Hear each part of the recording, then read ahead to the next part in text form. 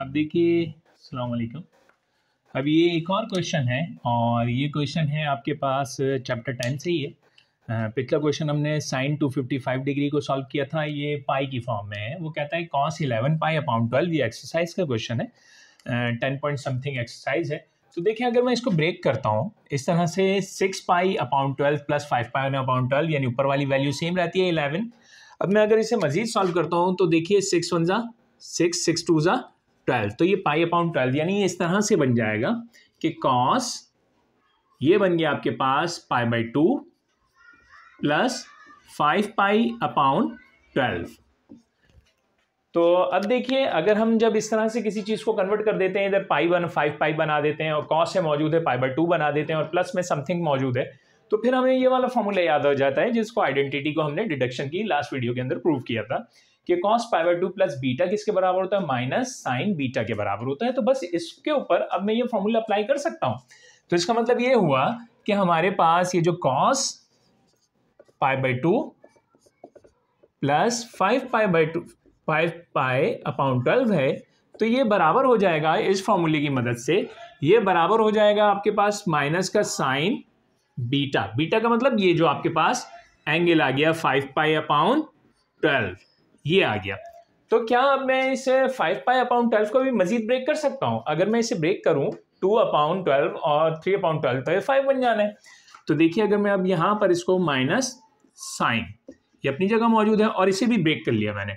Two pi upon twelve plus three pi upon twelve ठीक है?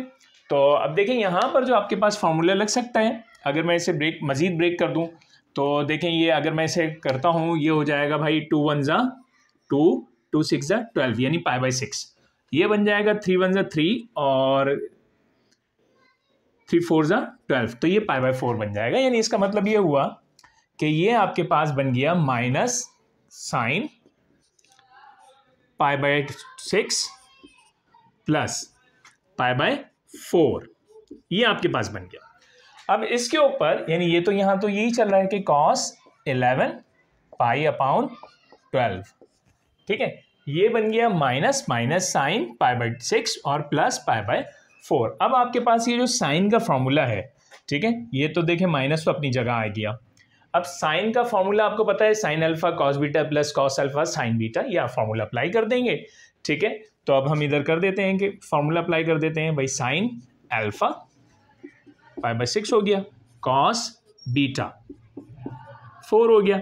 अब आपको पता है कि साइन के फॉर्मूले में प्लस है तो प्लस ही रहेगा। अब हो जाएगा कॉस अल्फ़ा और sine beta pi by four तो देखिए अब ये फॉर्मूला बन गया आपके पास, ठीक है?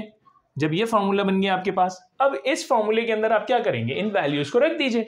आपको पता है कि साइन थर्टी किसके बराबर होता है? पाई बाय सिक्स के बराबर होता है यानी पाई का मतलब वन एटी अगर मैं वन एटी को सिक्स से डिवाइड करवा देता हूँ तो क्या कितना बन जाएगा? आ, ये बन जाएगा सिक्स थ्री जा। एटीन यानी वन एटी तो वन अपाउंड टू इसकी वैल्यू क्या होती है? One upon two sine forty five किसके बराबर होता है? यानी sine pi by four one upon root two cos thirty किसके बराबर होता है? पाई बाय सिक्स के बराबर होता है। और cos forty five cos pi by four यानी ये जो वैल्यूज़ हैं, इन वैल्यूज़ को आप रख दीजिए। या तो आप डिग्री की टर्म में फॉर्म कर लें, ये इसके बराबर होता है साइन पाई बाय फोर इन वैल्यूज़ को आप इसकी जगह रख देंगे। अब देखिए, अगर मैं इधर रखता हूँ minus sine pi by six sine pi by six कितना है आपके पास? हाफ़ है। ठीक है? फिर साइन फोर्टी फाइव यानी पाई बाय फोर कितना है? ठीक है? अब ये cos cos pi by four cos pi by four है आपके पास one upon under root two ठीक है?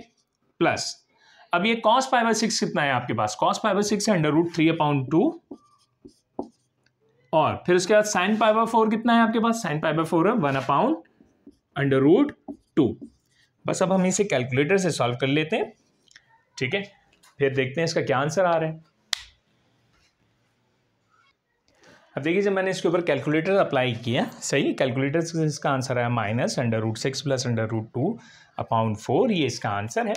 ठीक है? Cos eleven pi upon twelve का। ठीक है, ये इसका आंसर है। तो उम्मीद करता हूँ कि ये आपकी समझ में आ गया होगा। अल्लाह हाफिज़।